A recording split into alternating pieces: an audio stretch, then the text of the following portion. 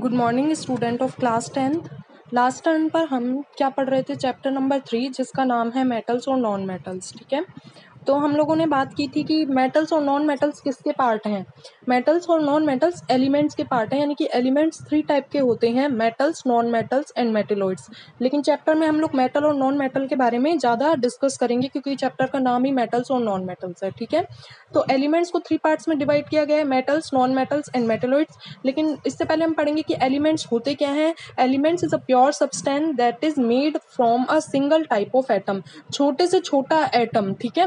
Single type of atom होता है elements जिसको डिवाइड नहीं किया जा सकता केमिकल रिएक्शन के थ्रू ठीक है? ये सब होते हैं एलिमेंट्स एलिमेंट्स को हमने थ्री टाइप में डिवाइड किया metals non metals and metalloids अब हम बात करेंगे मेटल्स uh, की कि मेटल्स क्या होते हैं? चैप्टर का जो स्टार्टिंग है मेटल से. थोड़ा सा हम डिस्कस करते हैं इसमें क्या uh, लिखा हुआ है? In class ninth you have learn about various elements.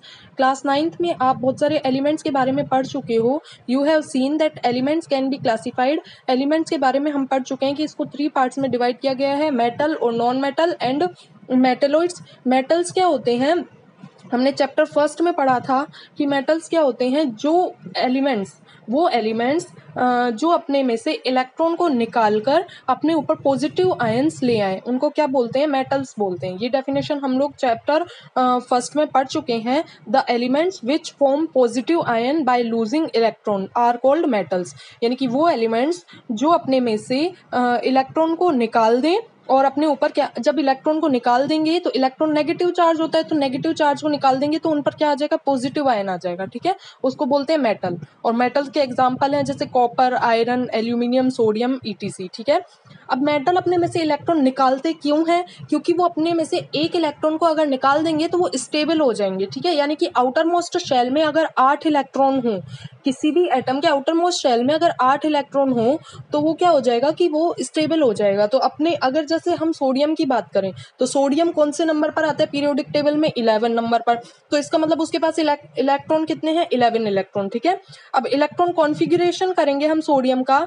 तो सोडियम का इलेक्ट्रॉन कॉन्फिग्रेशन करने पर क्या होता है? One s two two s two two p six three s one ठीक है? इलेक्ट्रॉन कॉन्फिग्रेशन क्या होता है? सोडियम का one s two two s two two p six और थ्री एस वन तो थ्री एस वन यानी कि थ्री एस वाली क्लास में से अगर वन इलेक्ट्रॉन निकाल देगा तो टू एस वाली क्लास में कितना बचेगा उसके पास? मैंने क्या बोला था? One s two two s two two p six. तो टू एस वाली क्लास में क्या बचेगा उसके पास? टू एस टू और टू पी सिक्स।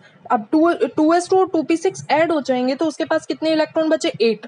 जब उसने थ्री एस वन को अपने में से निकाल दिया तो टू पी कितने बचे उसके पास? एट। और एट हो गए तो एट बनाने के लिए ही वो थ्री एस में से इलेक्ट्रॉन निकाल रहा है और एट बन गया तो इसका मतलब वो क्या हो गया? स्टेबल हो गया। तो यानी कि जब एन यानी कि सोडियम की बात करें तो वो अपने में से एक इलेक्ट्रॉन को निकाल कर क्या हो जाता है? एट इलेक्ट्रॉन बचा लेता है और जब वो एक इलेक्ट्रॉन को निकाल लेगा तो उस पर कौन सा चार्ज आ जाएगा? एन ए पॉजिटिव चार्ज और एन ए पॉजिटिव चार्ज का मतलब क्या हो गया? वो मेटल हो गया, ठीक है? तो हमने क्या बात की? मेटल क्या होते हैं?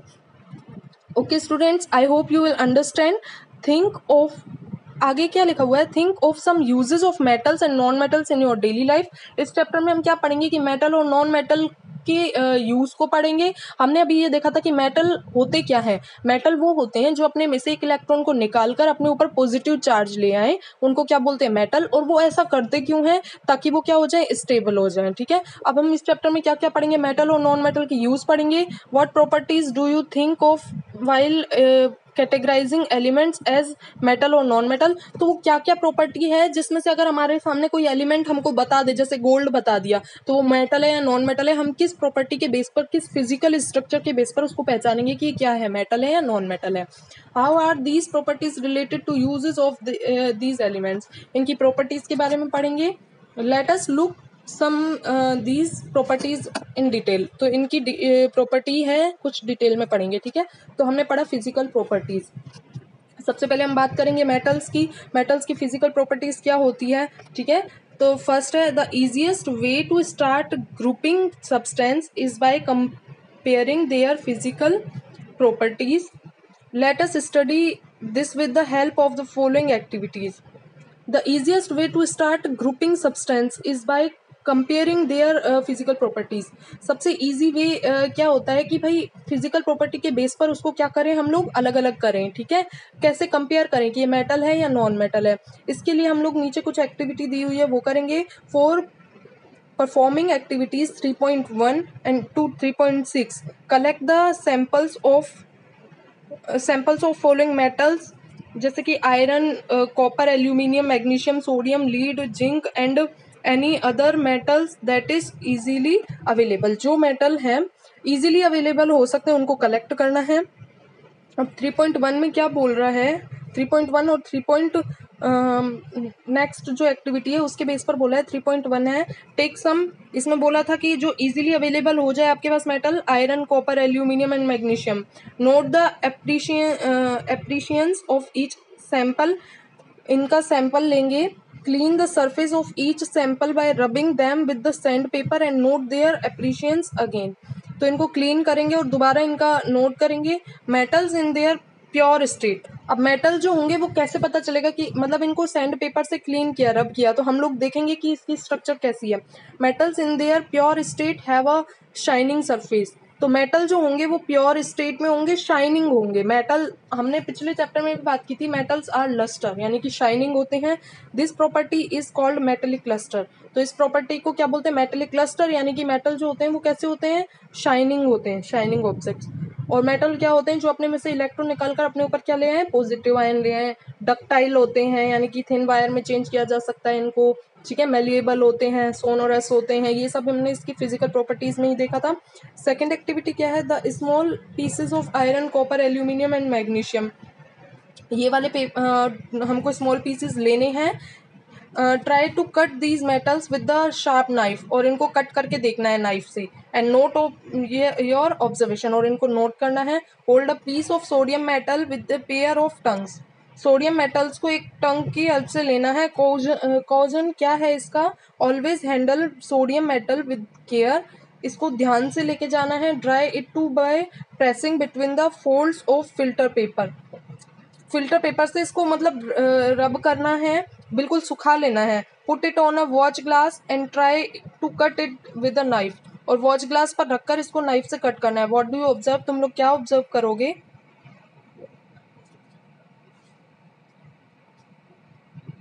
जब हम इसको कट करेंगे तो हम लोग ऑब्ज़र्व करेंगे कि मेटल्स आर जनरली हार्ड जो मेटल्स होते हैं, वो जनरली हार्ड होते हैं.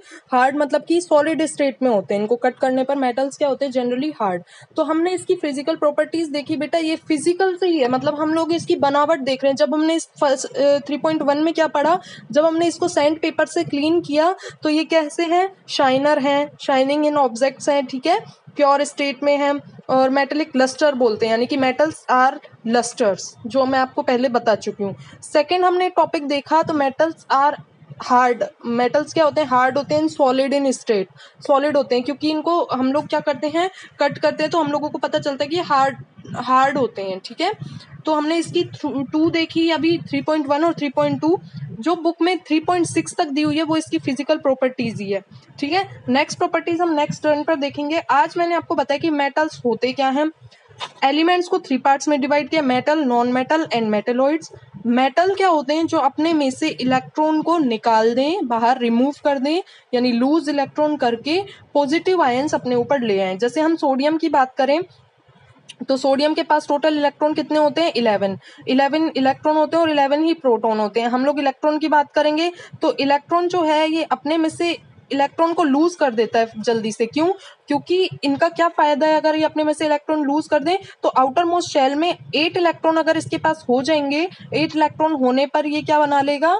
पॉजिटिव आयन बना लेगा। जब इलेक्ट्रॉन लूज करेगा, निकालेगा तो आउटर मोस्ट शेल में अपने पास एक इलेक्ट्रॉन रखकर पॉजिटिव आयन बना लेगा एन प्लस हो जाएगा। और एन प्लस हो जाएगा तो क्या हो जाएगा? ये स्टेबल हो जाएगा। अपने आप को स्टेबल बनाने के लिए इलेक्ट्रॉन को क्या करते हैं? लूज करते हैं। ठीक है तो मेटल की डेफिनेशन आपको समझ में आ गई होगी।